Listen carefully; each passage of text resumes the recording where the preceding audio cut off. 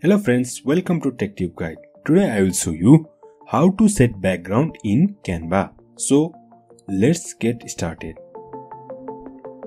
First of all, let's select one uh, image. Let's see scene. Let's choose this image. Okay. This is one image. If I want to make this image as background, right click, then select set image as background. In this way, we can select an image as background on Canva. So if you like this video, please like, share and subscribe.